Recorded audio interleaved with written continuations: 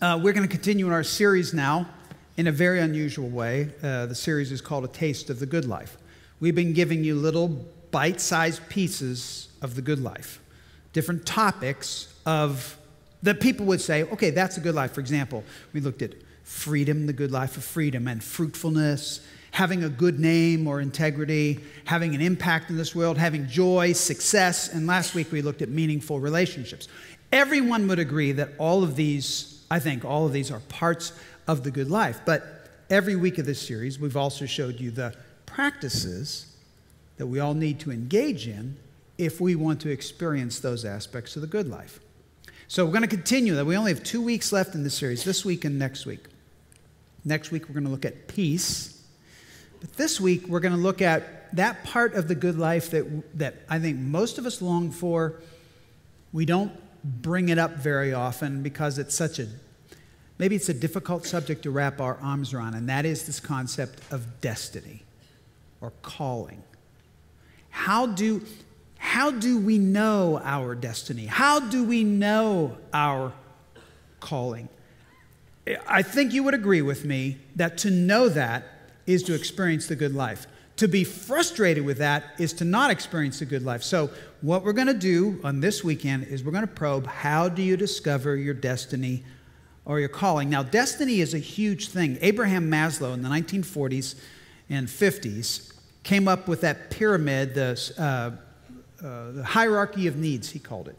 And at the very top of the pyramid, he said, was the number one thing that we all long for, and that's what he called self actualization. He said it this way what a person can be, they must be. That's our destiny or our calling or our self actualization. The Apostle Paul implied this when he wrote to the Philippians. He said, I press on toward the goal for the prize for which Christ has called me, uh, called me heaven, heavenward in Christ Jesus.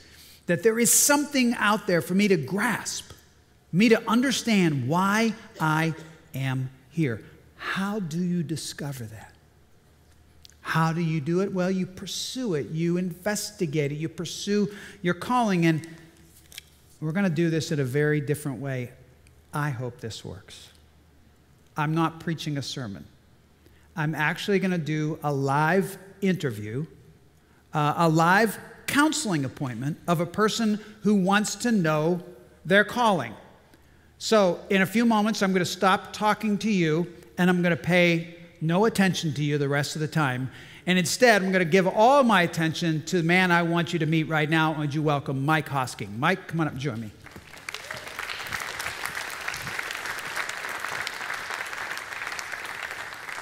Hey. How's it going? All right. Good to see you, Mike. Uh, calling. Is it important to you? Uh, it should be, right? yeah. Well, talk to me about that. Have you thought about this much? Uh, yeah, I have. Um, kind of about a year and a half ago, went through a little bit of way, way of discipleship with Brian Raves, and okay. um, kind of was in a transition from teaching high school math to getting out of teaching. And uh, I don't know, I kind of wrestled with what is my calling if I'm mm-hmm. not a mm-hmm. teacher. Mm-hmm. I'm not teaching anymore. So yeah, what are you doing now? I work at Community Health Network on their kind of health software. Okay, and how many years were you a teacher? Uh, five years. Five years. Okay, so you're in a new role. What, what is this role now? What do you do? Uh, it's a system analyst. It's hard to describe, I guess, okay. but uh, just kind of work on the software and tailor it to be specific for what community needs. Okay. Uh, married? Yes. Yeah, your wife's name? Sarah. How long you been married? Well, 2010. Okay, no, we just right. Yeah. so 2010, you were married, about six years then. Yeah. Okay, you have children? Yes. So Lucy, who's three and a half. Great name for a child. Yeah. And Everett, who's a little over one. Everett, beautiful. Now, all of that, your family's going to come to bear in your calling. Uh, we're going to talk about that in a minute. And um, now, I'll tell you this we're not going to. We're not going to know your calling at the end of the 30 minutes we're going to be together. But I hopefully will be able to give you a process, what I would call an iterative process. In other words, you can do this again and again and again and again. This year, next year, the year after. And every time you do this, you should have a clear understanding of your calling. Okay? That's, yeah. our, that's our goal. It's a good goal. Uh, yeah, and you know what? I, uh, just you're going to need a piece of paper to, to, to do something in a minute. But before we do that, I want to I want to clar- clarify some definitions, Mike. Okay, um, some six, six words. If you want to take notes, it's fine. Um, if not, use your mem- as a teacher. You should probably remember a lot of things. Let's start with this. The first word is job. You just told me what your job is right now. A job is basically how we make income to bring home the bacon and work our way through this world. Um, a job is not your calling.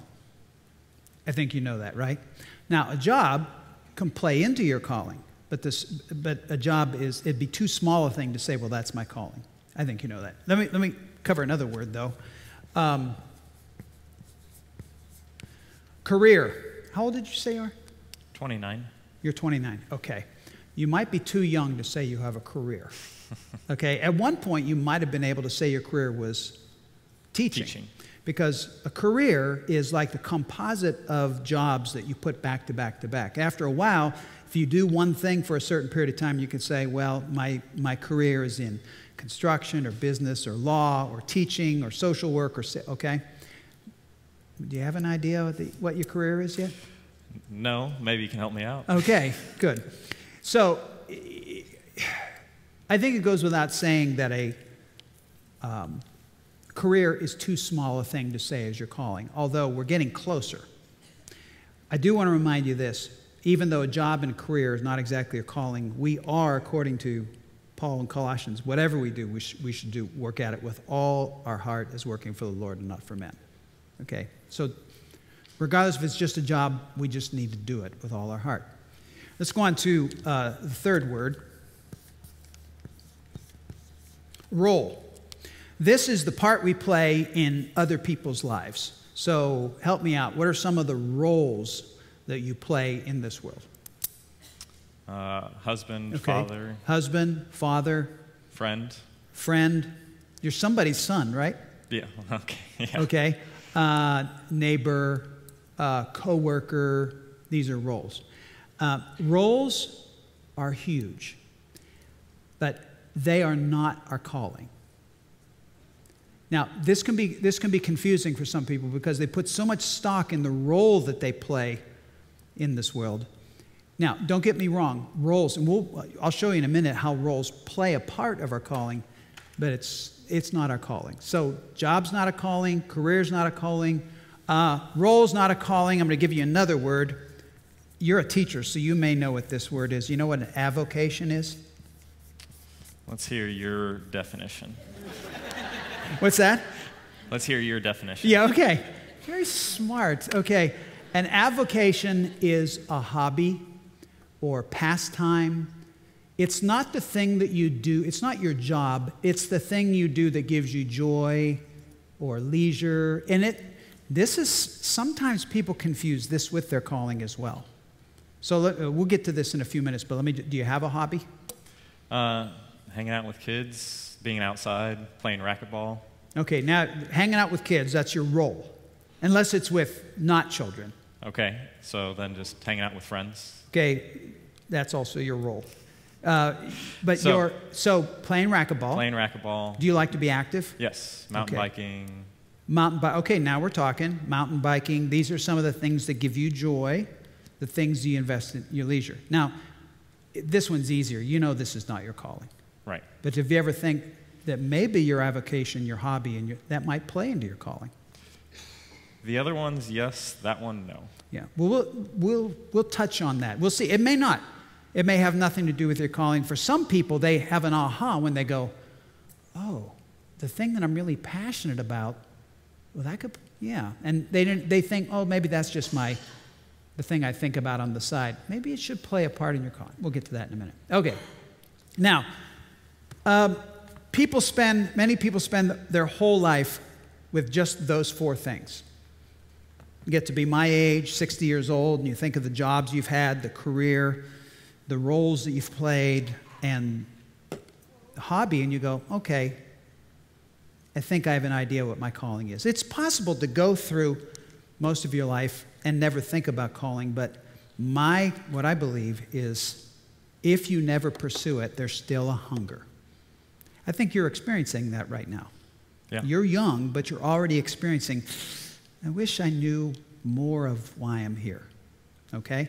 Now, that's, that's calling. Um, here's the big difference with a calling a calling is this calling is an invitation, a calling is a beckoning, a calling is a, a summons. And there's only one person in all the universe that can do that to you. Okay? No human being can issue a summons. That's what a calling is, and it's from God Himself. This is why people hunger. This is why you want to know, because this is what God has designed you for. We'll get back to that in a minute. Um, Ephesians 2:10. How long have you been at Grace, Mike? I don't know. Uh, shortly after this building was. Okay, a long, being- a long time. So you've probably heard me refer to Ephesians 2:10 maybe a billion times. Okay? For we are God's workmanship or masterpiece created in Christ Jesus to do good works which God prepared in advance for us to do. This is your calling. Before you were born, before you made your debut, God looked at you and he said, He knew your name was going to be Mike. And he said, I like this one a lot. And I've made him a certain way, and I have something in store for him, or a series of things in store for him, things that I want him to do that will change the world. That's your calling. And you need to know that it's that sacred, that the God of the universe wants you to know what it is. Now, I'm going to introduce one more word that I've actually never said to anybody before. Um, uh, this has only been in my thinking. This is like I'm rolling this out for the first time. And I want to add another word to this list, and that's destiny. And I'm going to suggest that it's distinct from call. Um, there's a book you might like by a guy named Bobby Clinton. It's called The Making of a Leader. And what I know about you is you've got leadership, you have leadership chops, so it's probably would be good for you to read. Bobby said, um, every human being, male or female, men and women, they come at a point in their life, usually when they're a little bit older. He calls it a point of convergence. When our whole life, it all comes together at one place, and this is where I'm going to throw in the word destiny. Now, the bad news is for you, you're not going to know your destiny for some time. When you get to be about my age, your destiny needs to be fairly clear or clearing up. Because your destiny is, in essence, a series of callings that start to culminate at a place you say, that's, this is what this has all been leading to. But for now, I don't want you to think about destiny. Okay? I want you to think about calling. All right, does this make sense so far? So would you say it's destiny is a, or calling is a subset of your destiny? Yes. Okay. Yeah. And I'm going to see, let me use this illustration and show you that everybody has a series of callings, or I would say it this way everybody discovers their calling and then it gets deeper or broader. Sometimes it changes. And that continues to happen through your life till you get to the point where you're in your probably late 50s, early 60s, where it starts to coalesce into a destiny. Now, let me use this illustration. This is my daughter's uh, quilt. And she made it in 2010, 2010, right after she graduated from IU. And these were all t shirts of hers. I mean, the whole thing is like all kinds of t shirts. And in 2010, well, for example, this, she was in a lot of theater. This was from a theater thing she was in. This she was in West Side Story at her school. She was a Delta, a Delta Gamma at, at IU.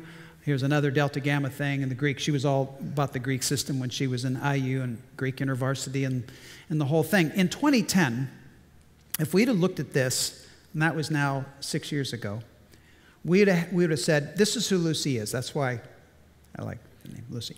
Um, this, is, this is who Lucy is. This, we might even be able to have a sense of her calling. We'd step back and go, oh, you know what? She should probably be doing something in theater. Maybe she should involve in music.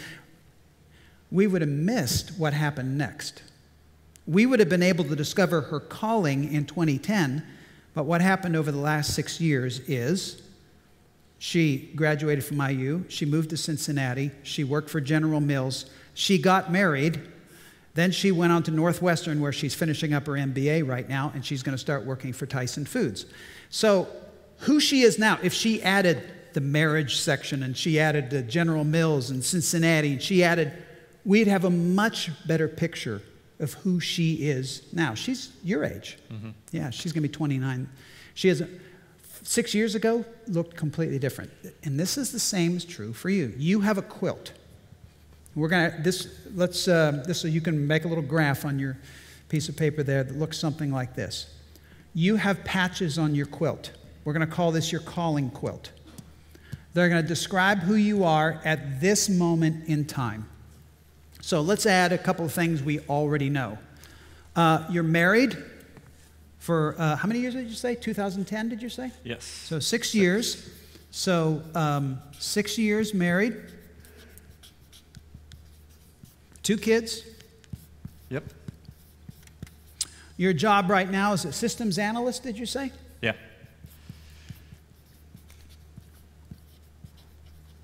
Are you going in a particular order, or are you just? No, we're just we're gonna we're gonna do the composite of who you are. So, how many years were you teaching? Five. Okay, five years teaching. Let me stop right there. Did you like that? Teaching? teaching? Yeah, I love teaching. Why did you leave it? That's a whole conversation there. Well, that's kind of why we're here, right? no, uh, so I guess I'll. There's a lot of bureaucracy behind teaching and financial aspects. And I'll say the biggest reward that I talk about with my wife of not teaching is I come home and now I have energy for my family. And so, like, that's just a huge reward of not teaching. Okay. Because we invested so much. So, the 90 minutes of a class I absolutely loved. Okay. A lot of the other stuff, maybe not as much. Okay, and when you came home, you were wiped out because then you also had to work, think on teaching plans and all that stuff, and mm-hmm. individually dealing. What age did you teach? High school math. Okay.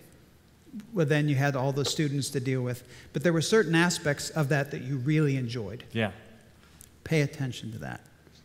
Okay, because I'm not suggesting that you should go back into teaching. Don't don't get me wrong, but there's something about this five years that you need to continue to process. Do you like your job right now? Yeah, I do, actually. What do you like about it? Um, it's unique. It has a series of challenges that I can kind of use logic and work through. And okay. um, as far as the teaching goes, I, I kind of tell people 30% of the job is not my job requirement. I kind of do whatever I want okay. because. You mean this, this job? In that job, and I pull in and I like I'll teach a lesson on a new application that we got, and so I bring in the teaching aspects, and okay. um, I just love kind of working and helping people. Um, are you a problem solver? Yeah. Okay. At your core, you are right. Yeah, we'll get we'll get to that in a minute. Um, education. I didn't ask you this. Where where'd you go to school? I actually started out at Purdue for engineering, and uh, actually started skipping classes to tutor friends. And so then I realized, oh, maybe I should go into teaching. Okay. Um, skipped classes. But this is important. Um, Am I skipping classes? Oh, yeah. Because you have to ask yourself, why did you do that? What was it about tutoring that, tutoring friends that uh, I mean, I can I could do the classes, but they needed help, so it was like kind of an easy. Yeah, sure, I'll do it. It gave you life. Yeah. Okay. Kinda Again, you skip classes because to how do you spell tutor? To tutor to tutor friends. This was huge. That's huge. Now then, we're go then ahead. Ball State. I'm sorry. Then Ball State. Ball State. Um, Let's, let's go down this road of the way you're wired because you, I think you've, you've touched on it a little bit. To prepare for this, I ask you to, to take the Enneagram. Have you ever taken that before? No, I have not. Okay. I've, you've probably taken other personality tests, right? I have two. This one is probably the best test I've ever taken. It's the most revealing. Was it revealing to you? I would say yes. And when I talked to Sarah, she was like, that is absolutely you. So, yeah. Okay. Uh, let me just tell you this. You, um, your test score is the same as my wife's. So I get you. Okay? Uh, and she said the same thing. She said, well, That's kind of me. And I said, No, that is you. So let's talk about here's what it says you are. Are you ready for this? Um, you value being a good person more than anything else. For those uh, Enneagram, I don't know how much you read on this, there's, um, there's nine numbers, describe nine different personalities. You're a one, okay? Um, you usually work very hard to live up to your potential and to listen to this help others do the same. Hmm. You can engage the world in a serene manner, that's clear.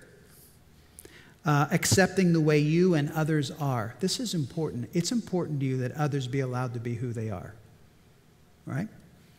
You're not trying to force people into being something.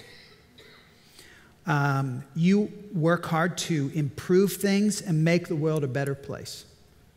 You realize the process of wholeness takes time, and you trust that you and the world are going in the right direction.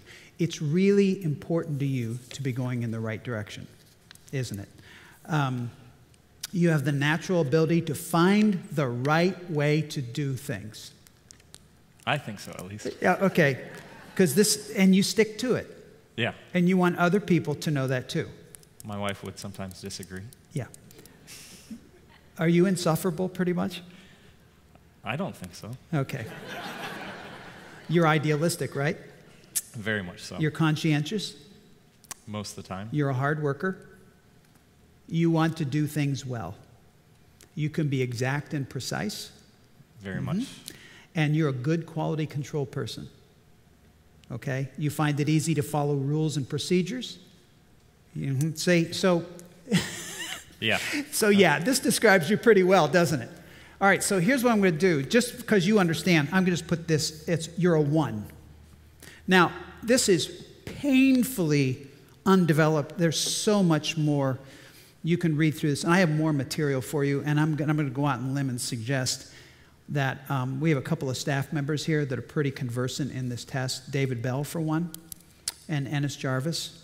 And I'm going to go ahead and recommend one of them to you for you to sit down and let them unpack this whole test. Um, now, here's why we're doing it. I'm, I'm having you look at this not because you go, okay, I know who I am. It's because when you start putting this together, how you're wired, your experience, some of the things that you've had, at where you are right now, then you start to go, oh, I'm looking at my quilt. I'm looking at the quilt of my calling, and it starts to make a little more sense. And maybe even give you some direction about where you should be headed. All right, let's. I ask you to also take a um, spiritual gifts test. Yes. Right? What did you discover? Spiritual gifts, of course, are what the, how the Holy Spirit has made you, special gifting He's given you. I could almost guess what they're going to be, but let's, let's what, what did you discover? What are your spiritual gifts? So, my top three were faith, administration, and leadership. Now, you understand that when you exercise this is the way this works. When you exercise leadership and faith and administration, that's when you feel the wind of the Spirit. Because that's the way He's designed you. So let's start putting this together. Exercising leadership, administration, and faith as a one, with your passion for teaching, but without all the drama attached to it. The desire to help people know what direction to move in. You see, when you start putting this all together, man, you are working in your sweet spot. Let's go one step further. Um, let's talk a little bit about your experience growing up.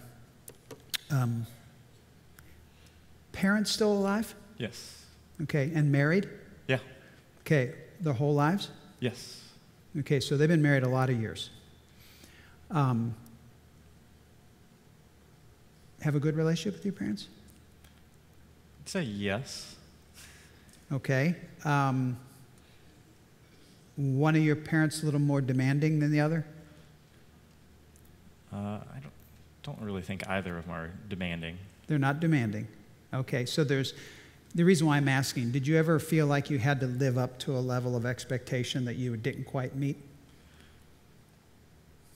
I'll say yes, but probably because of what I put on and not what they had. Talk to me about that.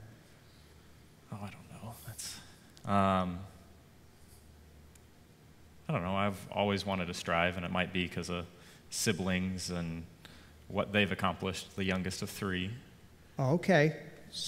Okay, hold on there.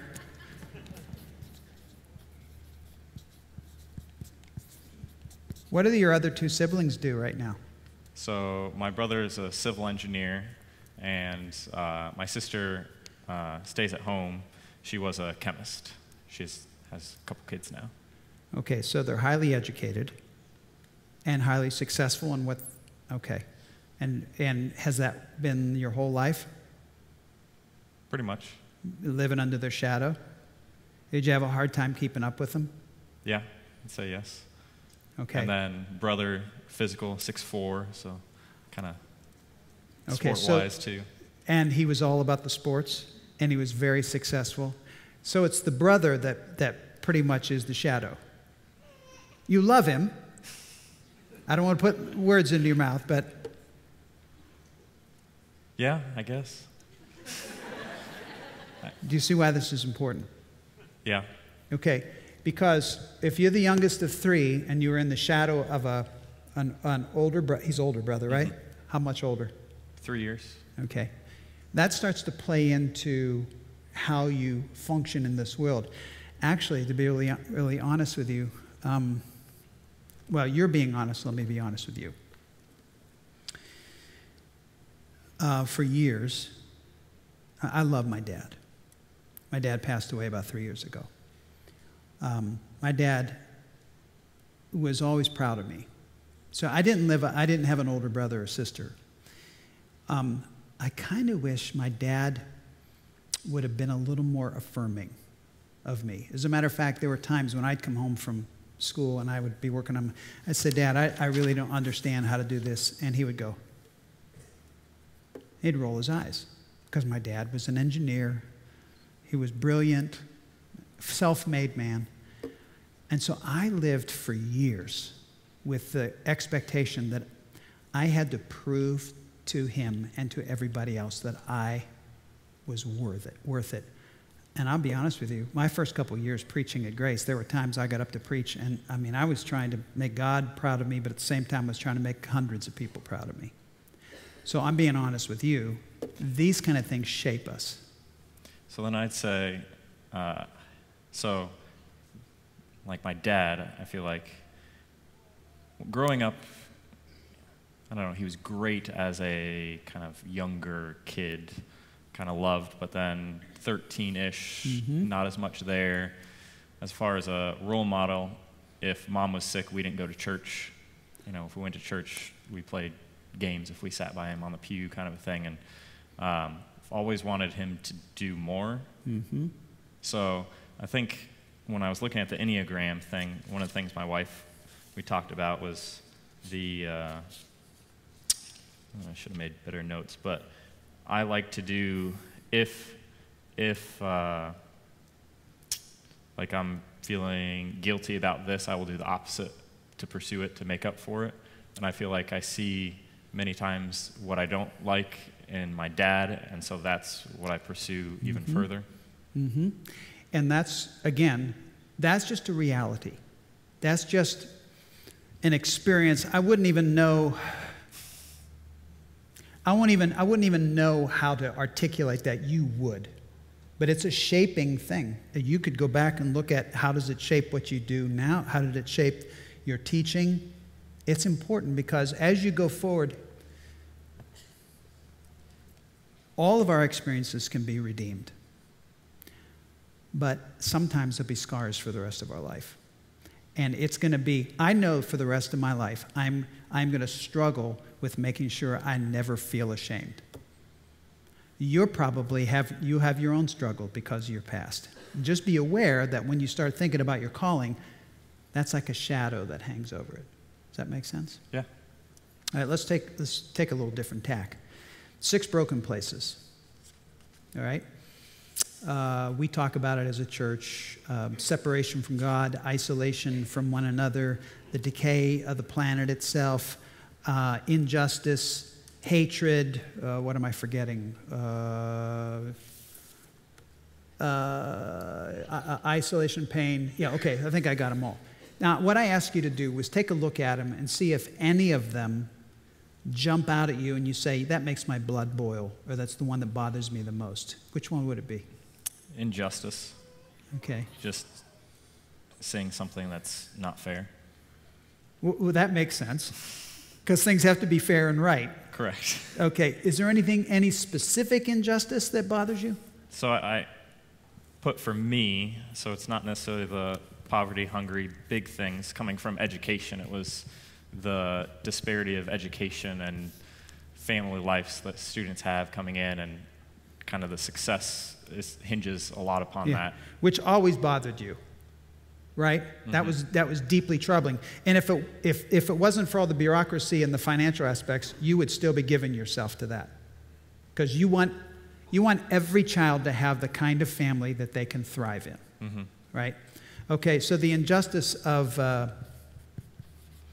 education inequity. Have you Mike, have you done anything with any ministries to get involved in that? Not in particular.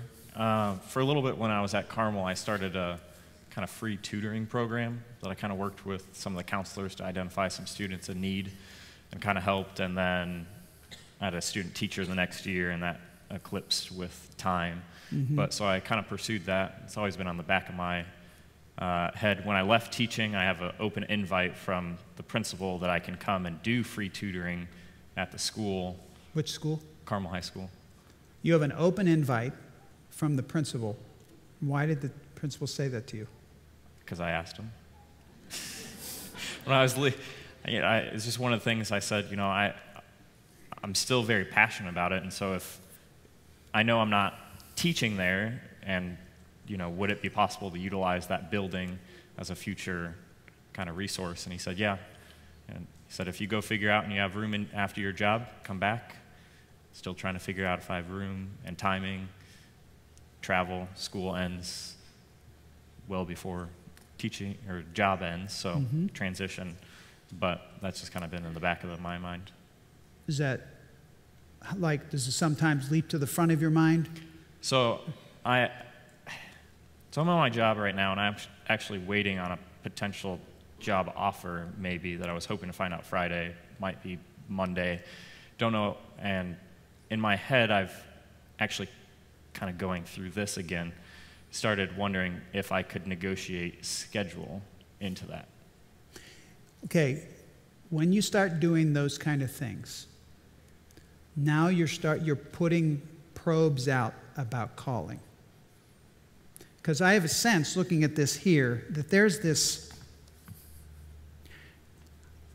Look, I don't think, I don't think there's a job you couldn't do well. Right? Your quality control, if you could put your mind to it, first of all, you're intelligent. You want to do the, you want to do things right. I don't care what job it is, you're going to do a good job. But I have this sense that even a job well done is not going to scratch the itch because there's something that comes out of this, plays with this, and with the tutoring, and with the teaching. I don't know what it is, but you need to keep sending the probes out because somewhere in there is your calling.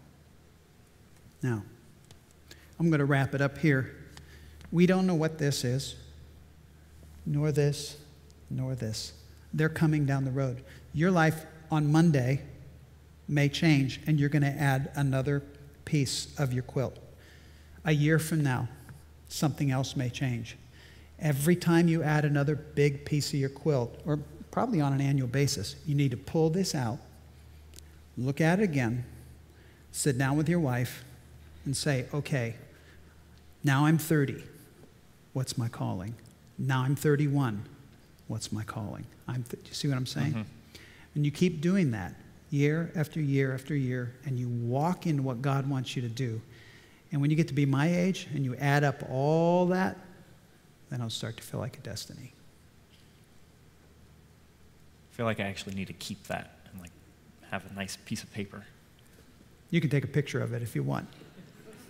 My phone's off, but I'll do that in a moment. Was this, is this helpful for you? Yeah, I think so. Just, I mean, it was helpful even knowing that I was going to do this and taking the Enneagram and the, the, spiritual gifts to kind of just have, I don't want to say forced, but like Yeah. say, investigate this, think about it.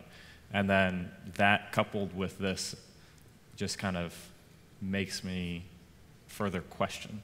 I don't think I have an answer, but uh, it's helpful, Good. definitely. Good. And by the way, thanks for being willing to do this in front of a lot of people. Would you thank Mike for doing this? Thanks.